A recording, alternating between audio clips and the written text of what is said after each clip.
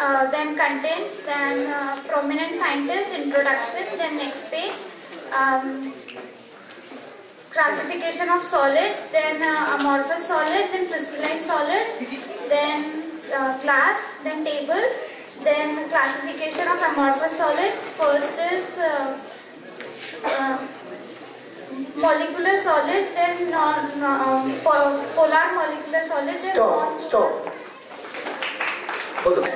Contacts contents के बाद नीचे में प्रोमिनेंट साइंटिस्ट दिए हैं तीन उनके बारे में इंफॉर्मेशन दी है। फिर उसके बाद इंट्रोडक्शन दी है। इंट्रोडक्शन में बताया गया है कि there are three states of matter they are solid liquid and gases फिर उसके बाद सेकंड पेज पे दिया है कि सेकंड पेज पे ये दिया है कि सॉलिड uh, स्टेट के बारे में कैरेक्टरिस्टिक्स दिए हैं। फिर उसके नीचे types of solids and the first type सही है? ओके गुड चलो नेक्स्ट